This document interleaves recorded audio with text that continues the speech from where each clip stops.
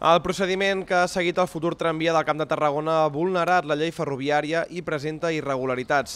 Ho recull un informe d'un bufet d'advocats contractat per l'Ajuntament de Salou i pel qual ara demana que es deixi sense efecte l'aprovació del projecte. Conclou que no s'ajusta a dret i és lesiu per als interessos de la població salauenca aquest eh, procediment administratiu que és el, el sistema tramviari del Camp de Tarragona adoleix d'una sèrie de defectes, una sèrie d'errors que consideren molt greus i que fan que el mateix sigui nul de ple dret d'acord amb aquests informes jurídics que nosaltres ho vam transformar en al·legacions. Per tant, jo crec que estem davant d'un procediment que s'hauria de declarar nul per part de la Generalitat i començar un altre cop de zero, perquè insisteixo que hi ha eh, greus errors administratius. I si la Generalitat no els dona la raó, el següent pas del govern de Pere Granados serà denunciar-ho als tribunals.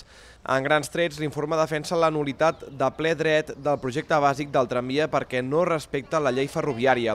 Assenyala que s'hauria d'haver fet un pla especial urbanístic del sistema tramviari per determinar com s'ha d'integrar la infraestructura i a més demana una nova avaluació ambiental perquè el projecte ha introduït modificacions substancials de les quals no se n'ha mesurat l'impacte. També afirma que el traçat és contrari al principi de jurisprudència de no regressió de les zones verdes. Tot plegat, l'Ajuntament de Salou va incloure en les al·legacions que va presentar el projecte del tramvia. Un acord del ple que, recorda Granados, també va comptar amb els vots d'Esquerra Republicana, que forma part del govern municipal.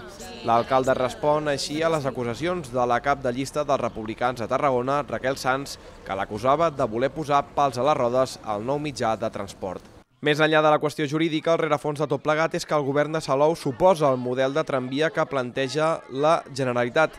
El volen sense catenàries i que no suposi una nova barrera física al mig del nucli urbà.